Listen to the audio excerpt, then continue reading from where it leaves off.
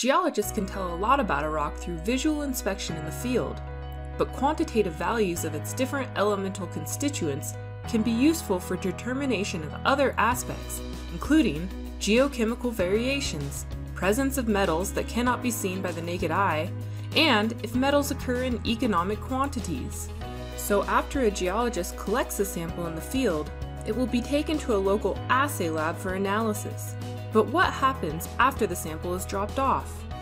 When the sample is received by the lab, it is labeled, sometimes with a barcode, so that it can be easily tracked throughout the analytical process.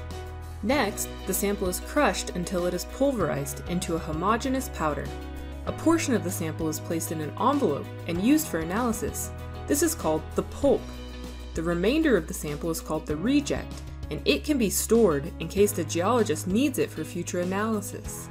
Now the sample may be sent to the fire assay lab if the geologist is interested in its gold, silver, or platinum group element content. Fire assay, which is a term that comes from the early version of this method developed over hot fires centuries ago, uses a larger sample size than instrumental analysis. This way, a more representative measurement of the gold content can be determined. For fire assay, 30 to 50 grams of the sample pulp is combined with a mixture of other ingredients, called a flux, into a non-reactive ceramic container called a crucible. The composition may change depending on the sample, but it generally always includes lead oxide, called litharge. The crucible is then placed into a furnace, where a chemical reaction takes place. The lead melts to form small droplets.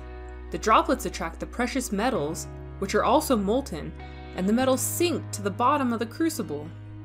After the mixture is removed from the furnace and allowed to cool, a solid piece remains with the lead button on the bottom and the remaining glassy material called slag on top.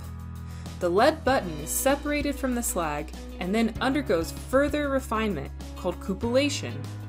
During cupellation, the lead button is placed into a porous ceramic container called a cupel the cupel is again heated, but this time in an oxidizing environment, so that as the lead button melts, the lead oxidizes and is soaked into the porous cupel, whereas the precious metals, which do not like to combine with other elements, remain behind as a small bead.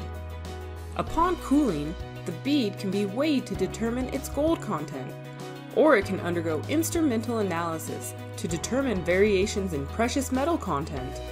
We'll talk about a couple of these analyses in our next video. For examples of how Orogen uses geochemistry at our different projects, check out orogenroyalties.com